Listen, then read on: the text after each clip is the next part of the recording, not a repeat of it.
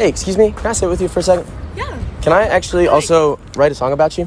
Uh, sure. Just like right now. Like, like. Oh no, it's actually really fast. I'll do it right now. Okay. Um, I met her on a park bench on a Wednesday. I got a crush before I even knew her name, which is Abby. Abby. Oh, she classy. Um, did you get your pretty eyes from mama or your daddy?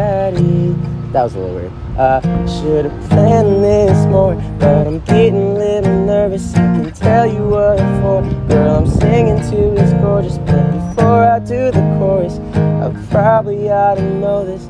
Just praying there's no boy you're talking to. No. You're single? Single AF. That's um, that that's great.